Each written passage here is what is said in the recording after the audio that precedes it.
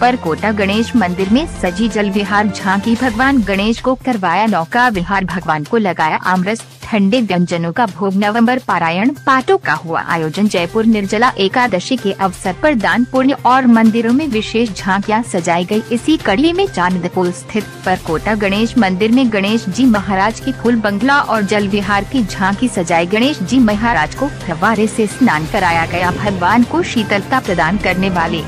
आम तरबूज ऐसी कुल कुल्फी ठंडे व्यंजनों भोग लगाया पर कोटा गणेश मंदिर के युवाचार्य अमित शर्मा के सानिध्य में प्रातः गणेश जी महाराज का विभिन्न फलों के रसों से अभिषेक हुआ भगवान को नवीन पोशाक धारण करा कर आमरस और कई फलों के रसों से भगवान को भोग लगाया मंदिर प्रांगण में गंगा दशमी के उपलक्ष्य में नवम्बर पारायण पाठों का आयोजन विद्वान पंडितों के द्वारा किया गया इस मौके आरोप भगवान गणेश को नौका विहार करवाया गया नौका विहार